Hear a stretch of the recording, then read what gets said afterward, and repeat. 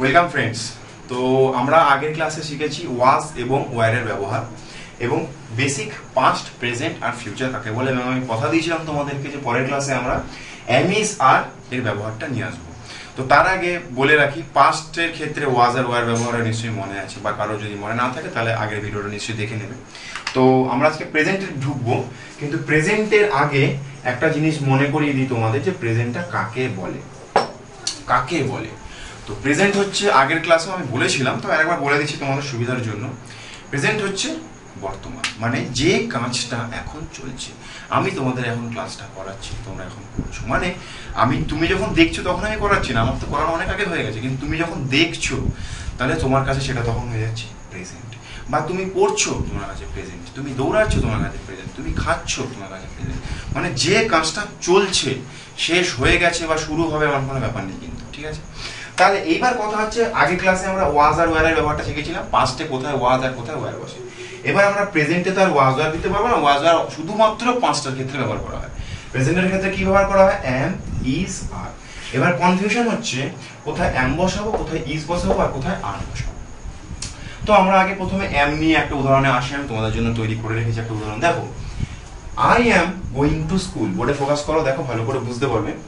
I am going to school আমি বিদ্যালয়ে যাইতেছি। আমি আগে বলেছিলাম সাধু ভাষায় ফোকাস করতে হবে সবসময়। তাহলে আমি বিদ্যালয়ে যাইতেছি।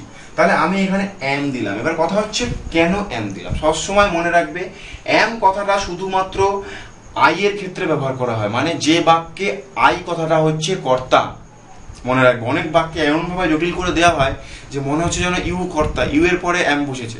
কিন্তু সেখানে সেই ব্যাপারগুলোকে আমরা ডিপে যখন যাব, তখন বোঝাবো। এটা যেহেতু বেসিকে বোঝে তাই আমরা অত ডিপে যাব না।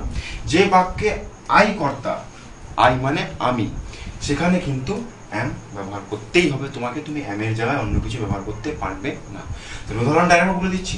I am going to school আমি বিদ্যালয়ে যাইতেছি। তাহলে এখানে আই আই এর পরে সব সময় অ্যাম হবে। এটা ইংলিশের একদম চিরন্তন সত্য রুলস এই রুলসটাকে তুমি কখনো বদলাতে পারবে না কোনো বাক্যেই। এবার চলে আসছি আমরা ইজে ইজ কোথায় হয়? He is going to school যখন সিঙ্গুলার হবে আই বাদে কিন্তু। আই বাদে যখন বাক্যে কর্তা সিঙ্গুলার থাকবে। আই বলেই তো অ্যাম হয়ে যাবে, এখানে আর কোনো কনফিউশন নেই।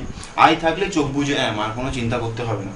কিন্তু আই বাদে বাকি যেগুলোতে বাক্যে সিঙ্গুলার থাকবে সিঙ্গুলার মানে আগেই বলেছি, আগের ভিডিওতেই বলেছি, এক বচন থাকবে, সেখানে আমরা ইজ ব্যবহার করব। তাহলে he is going to school he হচ্ছে সিঙ্গুলার তাই ইজ হলো গোয়িং টু স্কুল সে বিদ্যালয়ে যাইতেছে তাহলে হি হচ্ছে সিঙ্গুলার তাই ইজ হবে। আশা করি ইজ ইজ এর কনসেপ্ট ক্লিয়ার এবার আসছি দে তাহলে আর, এখানে দেখতে পাচ্ছ আমি আর ব্যবহার করেছি।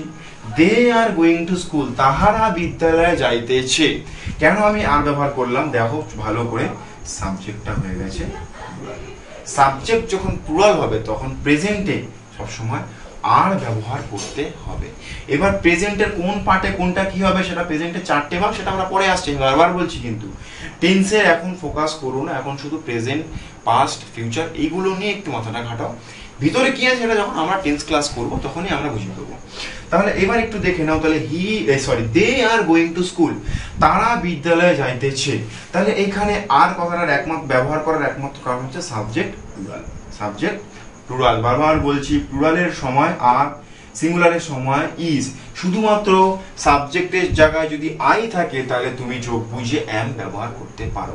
আদারওয়াইজ যদি সাবজেক্টের জায়গায় অন্য কিছু থাকে এবং সিঙ্গুলার বোঝায়, তাহলে ইজ এবং সাবজেক্টের জায়গায় যদি প্লুরাল থাকে, তাহলে আর খুবই সিম্পল নিয়ম, খুবই সাধারণ, মনে রাখতে খুবই সোজা, তাই আমার মনে হয় বিশেষ কিছু কষ্ট হবে না। অ্যামিজারের ব্যবহার আশা করি তোমাদের কাছে এখন একটু ক্লিয়ার হয়ে গেল। তো পরবর্তী ক্লাসে আমরা শ্যাল এবং উইলের ব্যবহার নিয়ে আলোচনা করব এবং আর আজকের জন্য তোমাদের যে বিশেষ টিপসটা আমি দেবো সেটা হচ্ছে বাড়িতে যে কোনো টপিক নিয়ে যা নিয়ে পারবে সবসময় একটু লেখালেখি করার চেষ্টা করবে। কারণ ইংলিশ শুধু পড়ে গেলেই হলো না, তাকে প্র্যাকটিক্যালি যদি অ্যাপ্লাই করতে না পারি, তাহলে আমাদের স্কিলটা কখনো ইম্প্রুভ হবে না। হ্যাঁ রাইটিংয়ের ক্ষেত্রে কোন বিষয় কীভাবে লিখতে হয়, কোন রাইটিংয়ের ক্ষেত্রে কোন দিকে ফোকাস করা উচিত, সেটা আমরা যখন পুরোপুরি গ্রামার শিখে যাব, তখন আমরা রাইটিং চ্যাপ্টারে ঢুকবো, কীভাবে রাইটিং লিখতে হয়, কীভাবে কি করতে হয়। কিন্তু বাড়িতে যা, যার যেরকম মনে হবে, যেমন about myself my home my school যেভাবে যা মনে হয়, যেভাবে মনে হয়, ভুল হতেই পারে। প্রথমেই ভুল হবে বলে আমি চিন্তা করব যে আমি লিখব না, আমি করব না, ওটা করলে কিন্তু হবে না। ভুল হোক, কোনো অসুবিধা নেই। তোমরা সেই ভুলটাকে পরবর্তীকালে নিজেরাই ধরে নিতে পারবে। তাই ইংলিশ যদি শিখতে হয়, সবসময় চেষ্টা করবে রাইটিং করে। আমি আবার আগের ভিডিওতে বলেছি, এবারও বলছি ভিডিওর শেষে একটা ইমেল আইডি তোমরা দেখতে পাবে। ওই ইমেল আইডিতে তোমাদের যদি কোনো রকম কোনো প্রবলেম হয়, এই যা যা হয়ে গেছে সেগুলোর উপরে, বা কোনো রাইটিং লিখেছো সেটা দেখাতে যাও, তোমরা ডেফিনেটলি সেই রাইটিংটা ইমেলে কপি পেস্ট করে আমাকে পাঠাতে পারো, আমি অবশ্যই দেখব। এবং আমি তোমাদের সেই রিপ্লাইটা তোমরা পেয়ে যাবে ঠিক সময় মতো। তাহলে আশা করি এই ক্লাসে তোমরা অনেক কিছু বুঝতে পেরেছ। তো নেক্সট ক্লাসে আমরা শ্যালুইল নিয়ে আবার দেখা করব। তো আজকের জন্য এটুকু